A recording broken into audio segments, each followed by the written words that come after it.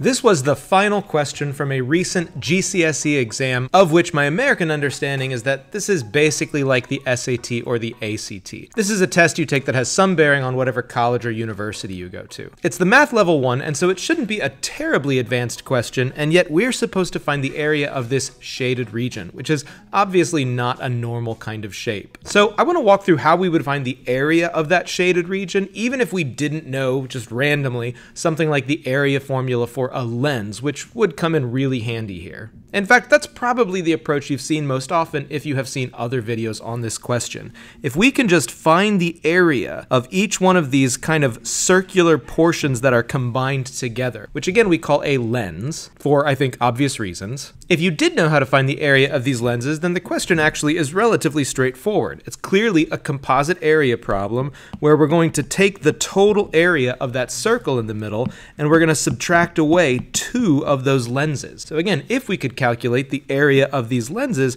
we would simply add them together, subtract from 16 pi. The radius of all these circles is the same, 4, and so that's where we're getting a total area for a single circle of 16 pi, and then that would be the answer. Whatever's left over would be the shaded region. But again, presuming that you do not have the area of a lens formula memorized, how would you approach a question like this? I'm going to suggest rather than trying to figure out the area of those two lenses and then subtracting that away from the total area of the circle, let's focus in on just the top half of this shaded region. If you connect the points, you can see that this actually makes an equilateral triangle. Again, the radius of these circles is 4, and so this length has to be 4, this length has to be 4, and it's relatively easy to show that there must be six such triangles that look like this, which means each one of them at its central angle is taking up a sixth of your 360 degrees. That's going to be a 60 degree included angle, which again is how you can end up showing that this must be an equilateral triangle. Knowing that it's an equilateral triangle, though, we have a kind of interesting relationship come out here. This kind of one bulge out area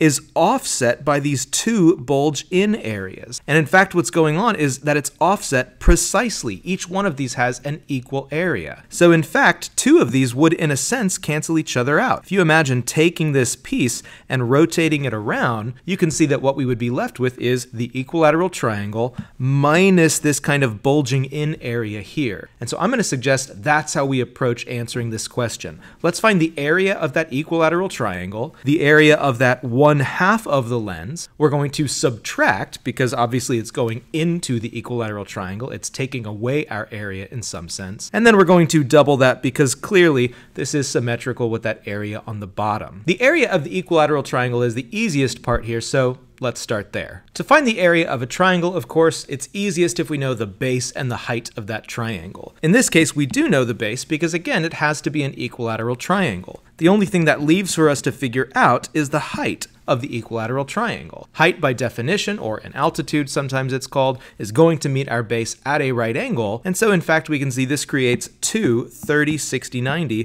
right triangles. You probably know there's a special relationship for the 30, 60, 90 right triangle, where across from the 30 degree side is going to be half of our total base, which makes sense because we're just splitting this triangle in half. Using Pythagorean theorem, or perhaps you just have memorized what's across from the 60 degree angle, we can say that the height of that triangle is 2 root 3. Putting that together, we can say the area of our triangle is 1 half times the base, which is 4, times the height, which is 2 root 3, and so we get a total area of 4 root 3. And again, that's just the equilateral triangle. If this were a multiple choice question, or if we only needed to roughly say what the area was, we're basically done at this point. 4 times root 3 is about 6.8, so our answer clearly is a little smaller than 6.8 times 2, because again, we have two of these different shapes. But in this case, it's not a multiple choice question, so we do actually have to go ahead and figure out this missing area. That's the part that we want to subtract away. To do this, we actually want to look at a different equilateral triangle we are going to pay attention to this sector of that circle because the area of that sector minus that equilateral triangle, which you'll notice is the same equilateral triangle, so we've already done that work, is going to be the area of that kind of bulging in portion, that half of a lens. We've already said this is an equilateral triangle. We can figure out that that's 60 degrees or 1 sixth the total area of the circle. And so this section here, including the lens itself, has to have an area of 16 pi that's the total area for the circle, times 60 out of 360. That is 1 sixth of the total circle. This ends up being 16 pi over 6, or if we simplify, 8 pi over 3. Now again, the area of the lens that we're interested in is actually going to be that sector of the circle, 8 pi divided by 3, minus the equilateral triangle, which again, we already found. We said that that area was 4 root 3. And now we have everything we need to be able to state the area of the shaded region. Again, as we compensate for the ways that the different shapes fit together, what we want is twice the total area of that triangle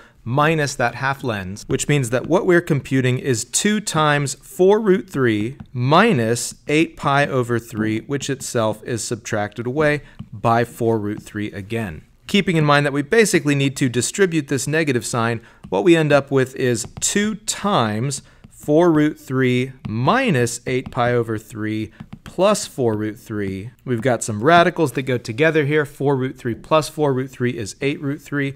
And so finally, we want 2 times 8 root 3 minus 8 pi over 3. 2 times 8 root 3 is 16 root 3, and 2 times negative 8 pi over 3 is negative 16 pi over 3. And so there you have it, that shaded region, that kind of bulging out, bulging in, equilateral triangle sort of area, ends up being 16 root 3 minus 16 pi over 3. What are some principles we can take away from this question for the future? Fundamentally, this is a composite area question. And so when you see composite area questions, you want to start dividing up and labeling any parts of your figure. What makes this one a little bit weird is the fact that the things that make up the composite area aren't polygons, aren't circles, aren't even necessarily sectors of circles, but instead are these things called lenses, these concave in and concave out kinds of shapes. Finding the area using such shapes is more difficult, but again, fundamentally, it is simply addition and subtraction of different kinds of areas. The other thing I'd say here is that because we're dealing with circles, particularly circles that have all the same radius,